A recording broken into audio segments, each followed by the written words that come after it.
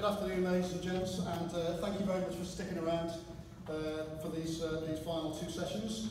Um, so this panel is on the evolution of trade surveillance, uh, which is, uh, I think, actually quite a fascinating topic, and I'm looking forward to, uh, to, to hearing what the members of the panel, um, the illustrious panel, between them have many years of experience in this, this sector, have to say on the topic. Um, it's a quick introduction to me. For those of you who don't know me, Mike O'Hara, I'm a partner with the Realisation Group. We're a marketing strategy consultancy that focuses on the financial market sector.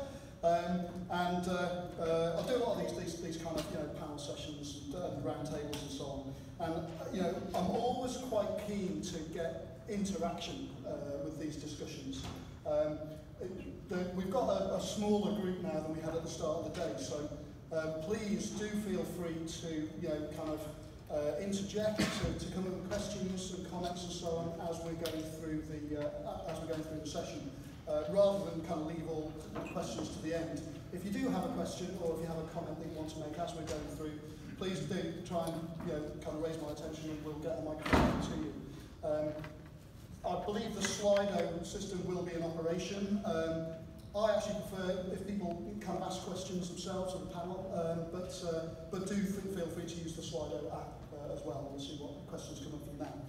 So, um, just a couple of uh, points before we launch into this. Um, as has been the case throughout the day, we're operating under the Chatham House rule, uh, which means please don't quote anybody um, without uh, checking anything with them first. Uh, feel free to write you know, anything that you like about what's discussed, but please don't attribute anything, um, as so without checking with people. Um, I'd like to point out that the panelists' views are their own. Um, they're, they're not here um, kind of reflecting kind of corporate policy of the firms that they're, they're working for. They're expressing their own opinions. Um, and um, yeah, so without further ado, I'd like to, uh, to hand over to the panelists just to give a brief introduction to, uh, to who they are and uh, why they're here. So um, uh, start with you, Justin. Hi, I'm Justin Nathan. I am the Chief Technical Officer for Surveillance at Credit Suisse.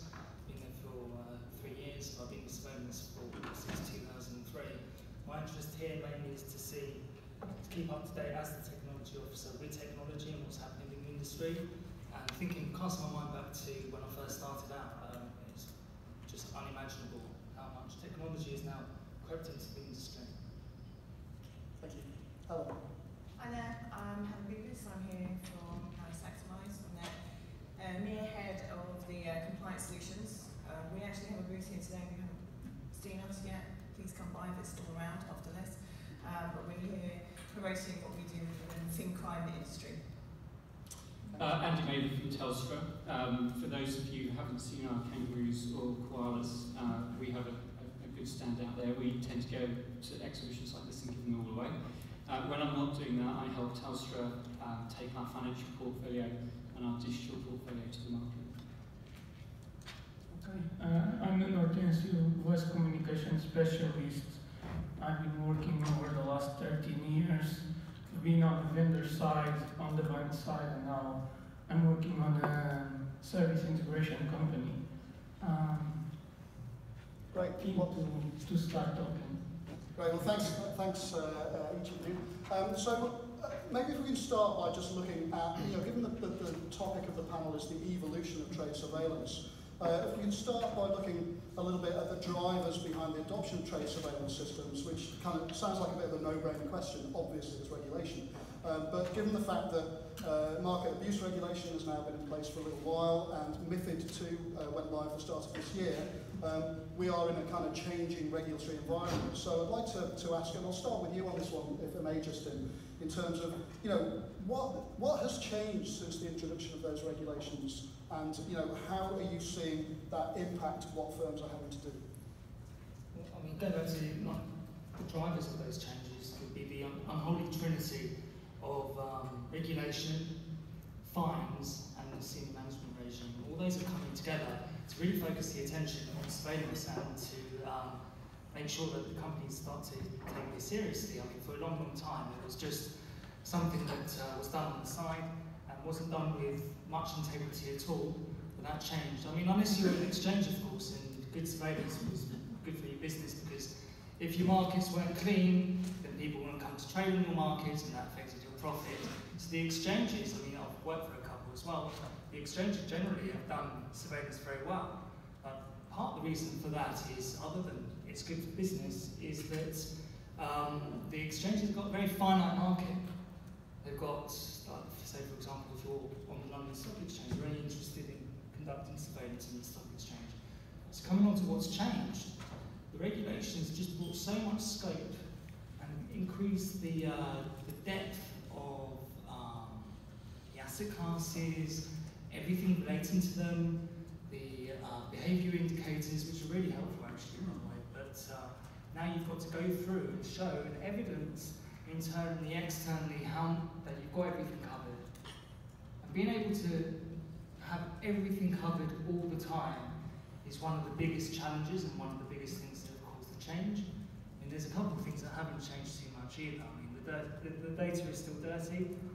Um, the decision making is still uh, relatively poor sometimes, and uh, that's not going to go away anytime soon. Helen, um, uh, Justin mentioned this holy trinity there of, of, of regulation, fines, and the senior managers regime. Um, is, is, is that what you see as well in terms of the, the three main drivers? And, uh, and, and can everything be covered all the time? Yeah, so, so absolutely, um, following on from what Justin said, it, for me, in terms of the drivers, yes, they are key components of it, but they're not necessarily the be all and end all. I think now, um, one of the key things now is to find the right system for your business. It's not just necessarily a tick box exercise to find a surveillance system because it's, it's cheap or it fits uh, because you need one right now. It's more about understanding the actual underlying logistics around what it is that you're actually trying to survey. Um, in the compliance industry, it's very complex, so most things now need to go down to quite a granular detail. And it's not just the technology anymore, it's all about the right skills and resources that you have um, underpinning that. So that's making sure from a business point of view, you have the right resources in place to be able to understand what is actually going on in your business. Thanks. Um, Andy, let's bring you in here. So, um, what, uh, in terms of, Helen said there that it's, it's not just a tick box, box exercise. Uh, would you agree with that, or would, it, uh, would you say that you know, you've seen some firms uh, who have been treating this as a tick box exercise? Well, yeah, absolutely. I mean, I was in a call yesterday and the guy said, actually, what I want to do is tick box. You know, I don't mind if my data's in different places. I don't mind if I can look it back. I just want to tick the box and move on. And, and I think, you know, pre-MIFID, we saw a lot of that. We saw, uh, especially the bit that we get involved in quite a lot uh, around the, um, the voice communication side. We saw a lot of people say, actually, you know, it's, it's about all sorts of other things. I can think about that later. And I think a lot of people have been leaving it, thinking about it later. I mean, I was rather surprised also, though, um, when our keynote uh, speaker this morning talked about Boston Group's stats saying, you know, 40% of the driver is efficiency. Because I'd love to drum, hit a drum talking about efficiency rather than talking about fines. Because, you know, it's a very competitive world and with low volumes and low volatility, we need to have more efficiency in the market. But I still see people ticking boxes and not really getting to grips. Talk about dirty data, a lot of it out there. And what I'd rather talk about is actually how you gain more insight from data. Yeah. I don't think we're seeing that. Right.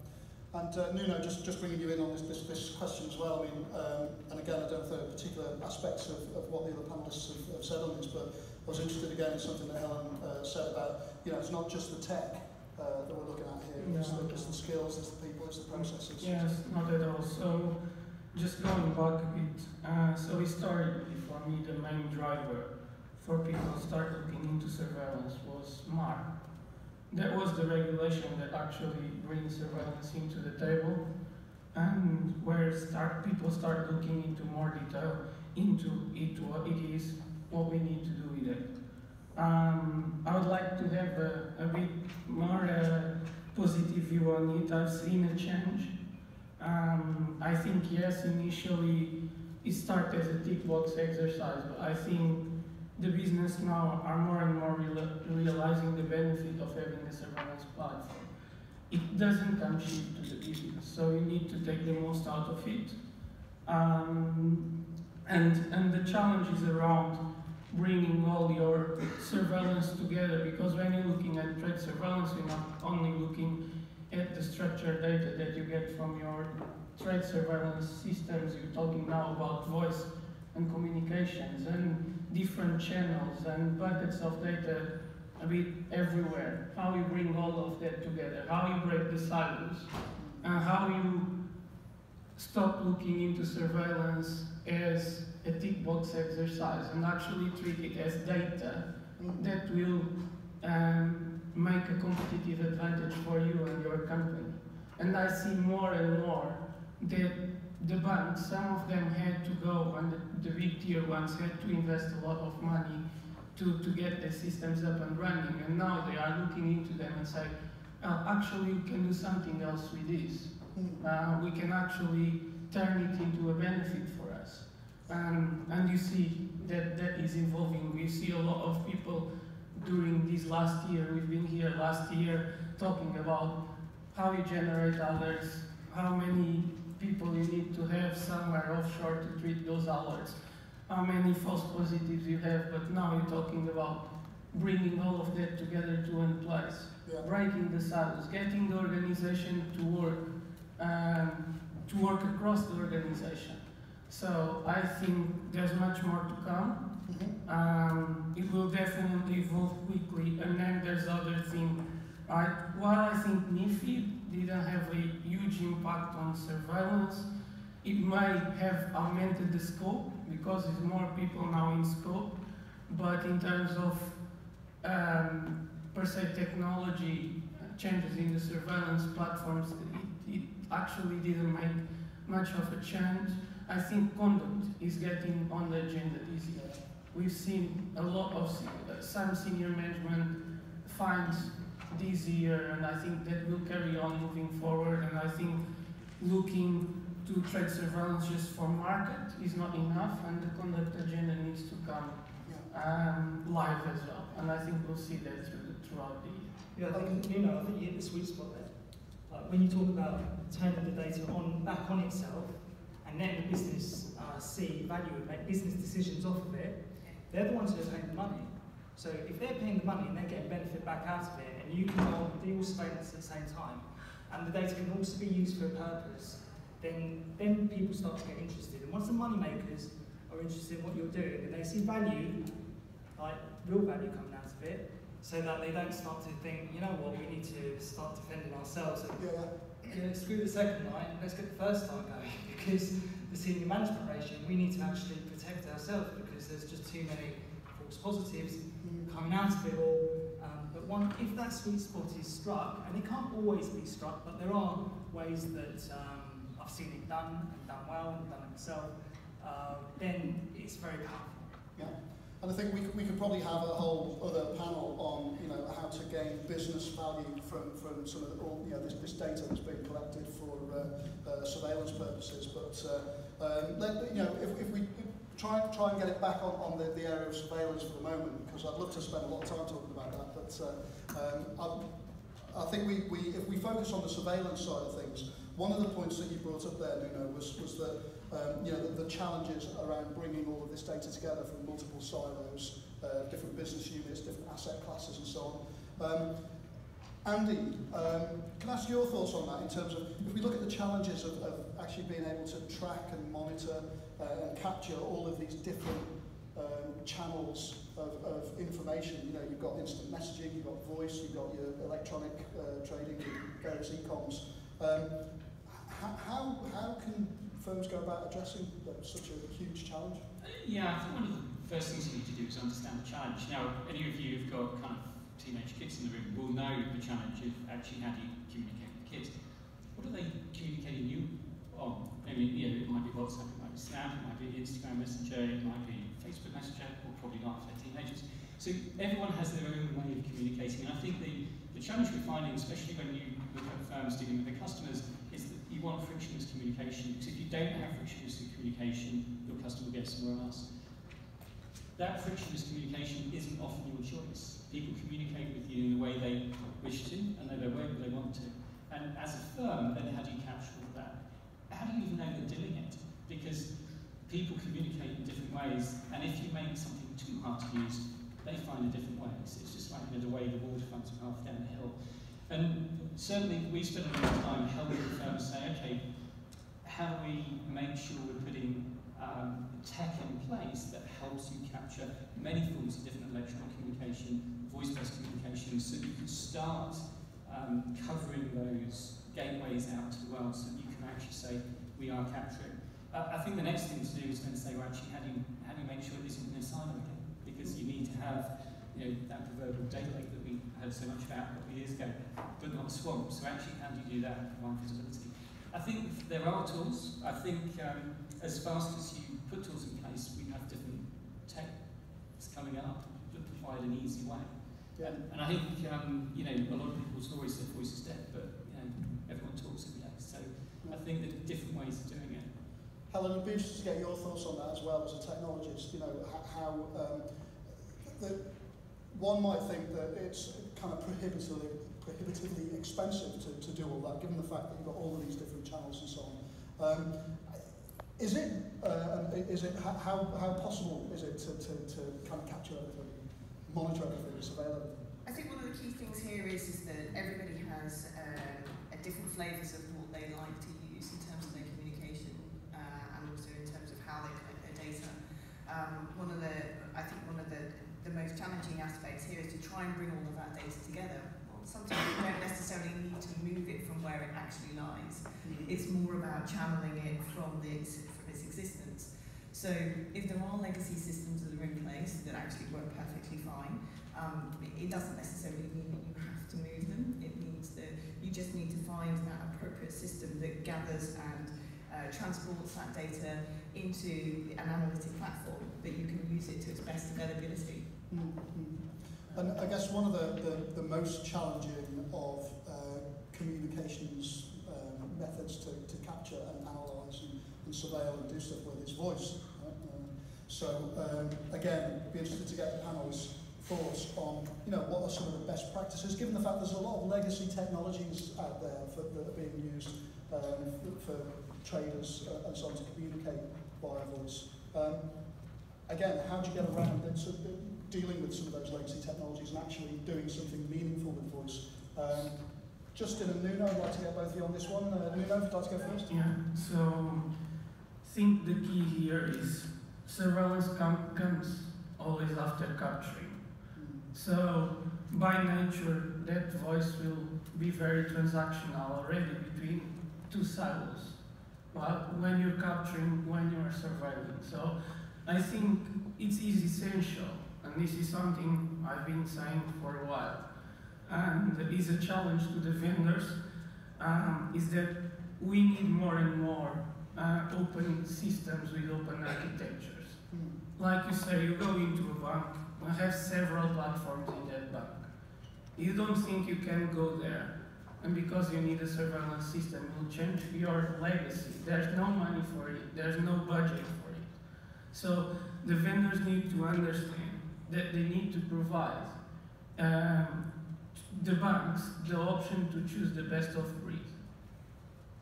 If that's, that's a possibility, then that allows other players in the market to come, come in and, and understand what the bank, what are the, that particular bank needs and how you can integrate these different systems that they have, right? So I think that's one challenge. We're seeing more and more. There's um, a lot of software uh, houses out there that are not doing that, and we we seeing um, the other the other challenge with voice communications is is extremely unstructured. Mm. So probably some people will think that the phonetics it's the best way to do. Others will look into speech to text. Um, I think we should be quite open to what we are doing because phonetics will have its own advantage, speech to text will have its own advantages. It will be much better if you can use the both of them to enhance each other Yeah. right? So, and I think that that leads into the the discussion as well. How you reduce false positives? You do that by adding more technology, but not talking about a huge product that you go and install and you like an entire team and months of Yeah. is having small modules that you can integrate with each other and that in the end can provide to you what you're looking for because everyone will be different. Yeah, I'd like to come back to the, the topic of false positives actually, because I think that's, that's a, you know, a really important uh, point to, uh, to drill down on in a bit more depth. But just before we get there, um, Justin, thoughts from you on, on, on the, the, the challenges associated with surveilling voice and how you get around some of those challenges? There, there are two main competing forces in the world, one of them being chaos, the other one being order. Quote of the day. Voice, as it stands, uh, in the scheme of things, although there, there is a lot more chaos, there is chaos elsewhere too, represents absolute chaos. And trying to harness that has been very interesting, especially watching it from the sidelines and getting um, vendors coming in and hearing stories about so successes that in, in the markets or particular banks have done, and they feel very proud of it. They feel very proud to have brought chaos. Oh, sorry, uh, actually, maybe Freudian state that. Bringing Bringing order there. to the chaos of voice communication. Some of them might bring, be bringing chaos out of order. Absolutely. And how have they done that? they, they've transcribed it to text. It's fantastic. I mean, I, you have to really give it to them if they've been managed to uh, transcribe the voice to text to begin with, because that's an achievement. Mhm. But is it the objective? The objective is to then conduct surveillance on it, and uh, the, there are accents um, in the audience now where voice can't pick it up, and even if it did pick it up, and your idea is to then represent it to those same systems that are notorious for churning out false positives, Yeah. many, many alerts, and you've brought order to the chaos and the voice through text to um, speech to text, only to then reintroduce it to the chaos of the surveillance system. what do you think is going to happen? You are likely to get many, many, many more false positives through the lexicons that you're using as a result, and thereby be worse off than you were when you started. Yeah, yeah. Andy, So good. So yeah, uh, love, love the idea, and actually I'm not going to disagree with that at all. I think the thing in this though is if you want to capture voice, you've got to give an incentive for the guy to speak using lips, teeth, and tongue, like I tell my kids. You know, if you can get a trader and used to say, look, I'll for your trade ticket. If you can get a sales guy and say, look, I'll transcribe it and stick it into your Salesforce or your CRM for you, you've got to give someone an incentive. If the incentive is strong enough, they'll behave. Hmm. If it's not, they won't, and they'll go back and do what they do. And, and this comes to you know the, the other point. Actually, how do you gain benefit from it? And if benefit isn't given to the person who's speaking, going to see the output on the other side. But So incentives for traders to behave.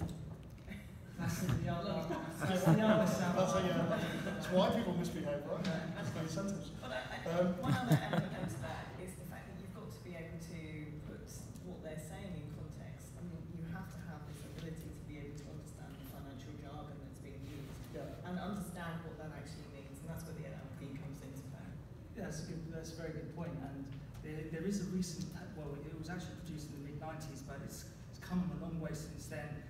A paper that was written um, in a US university by one of the professors, uh, who's done a study on and actually produced something. Um, I'm not going to go into too much depth and keep on top of all that, but uh, using masses of text, the more text, the better. So that's where your text to your voice to text comes in. So I'm not knocking the FB. Mm. It's just what you do with it afterwards is the problem.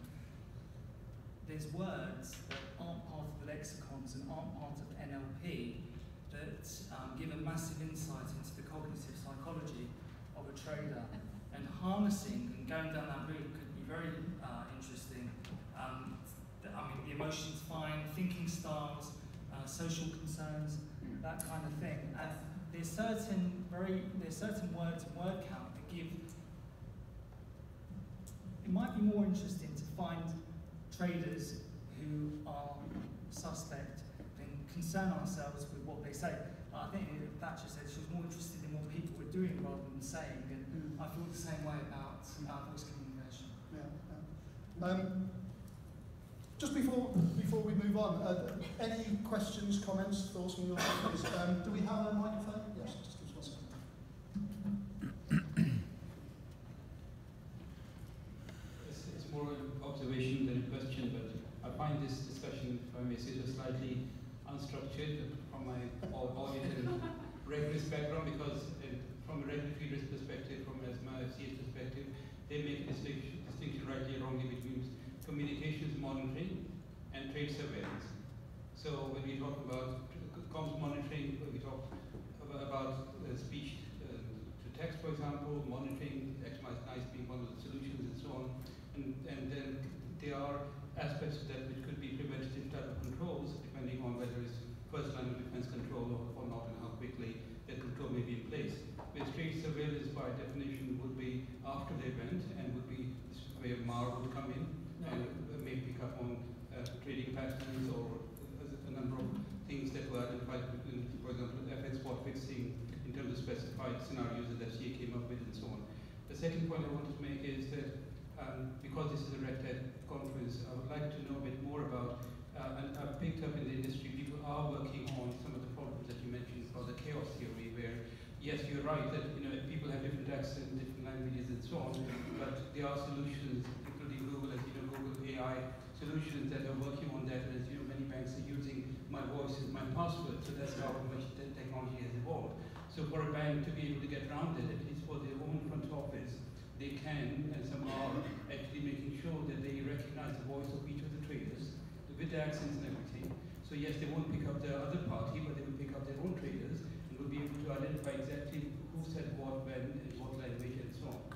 And th- this, this is where some of the solutions we talk about may come in to facilitate that better and make it easy for, for folks in the compliance team, for example, to do their job. Okay.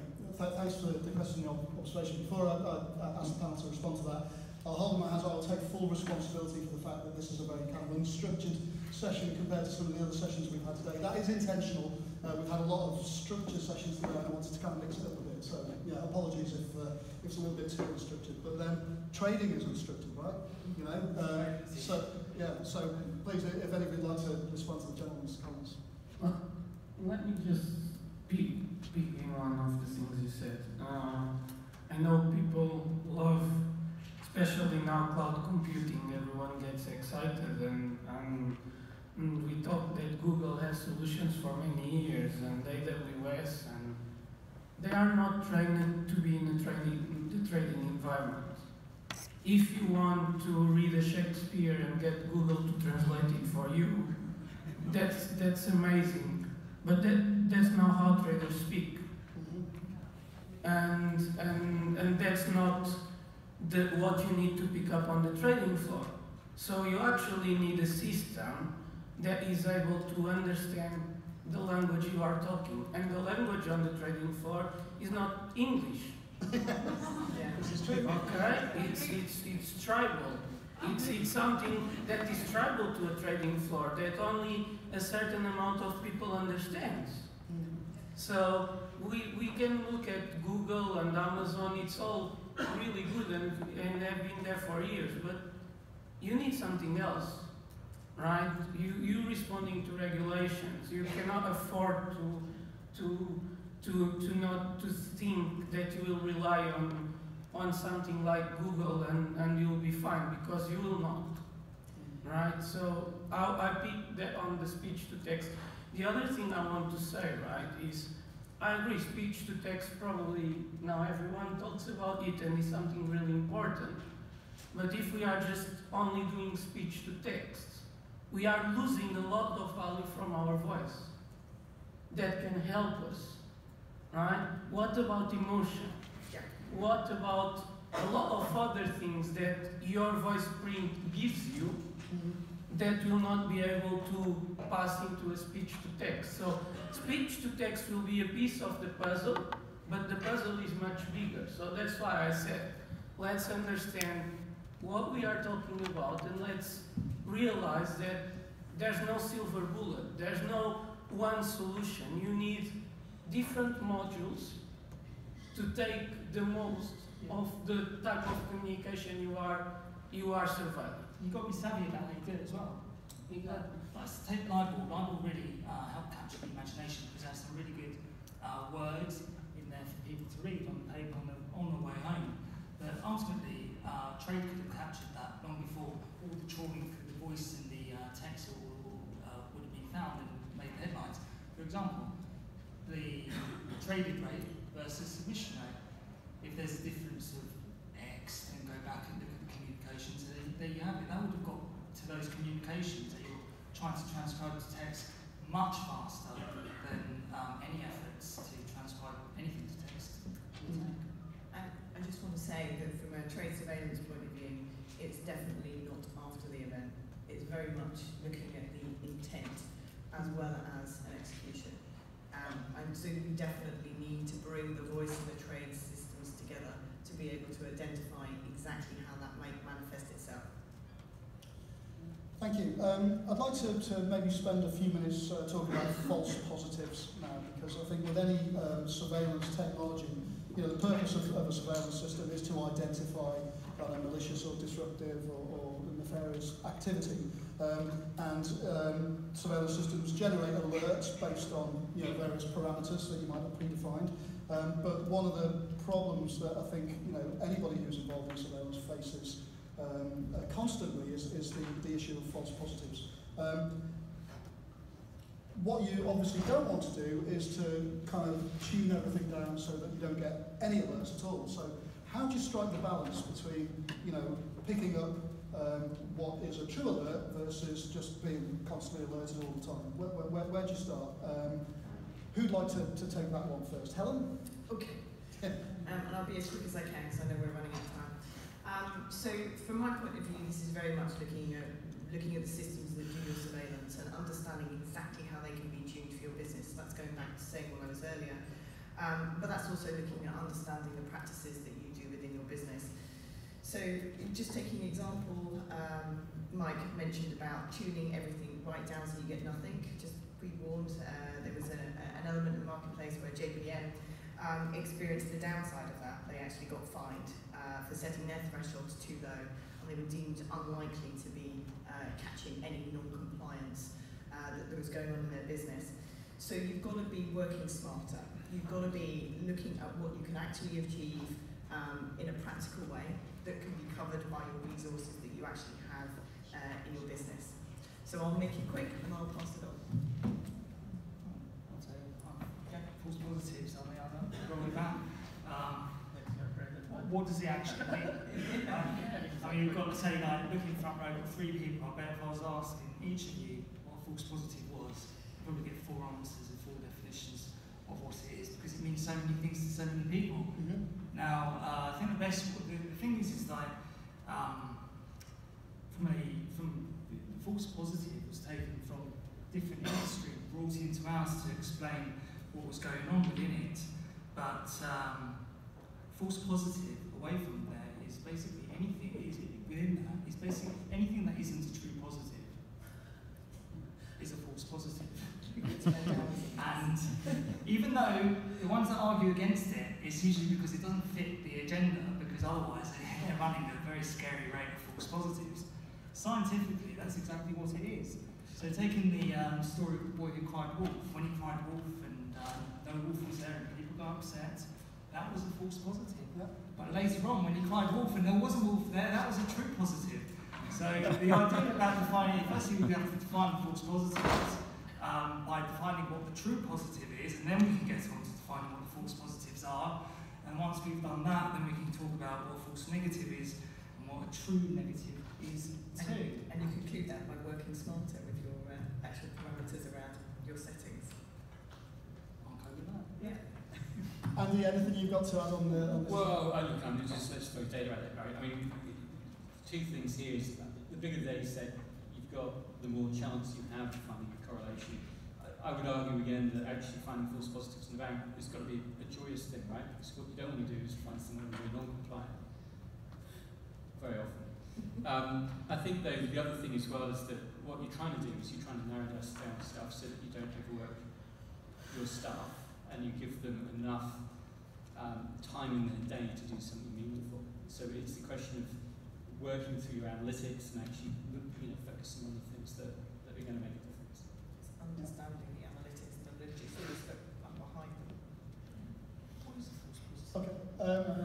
Um, I just just leave one uh, here on the false positives is that I think that we're all, that will always be there until we look at trade surveillance as a alert-driven function.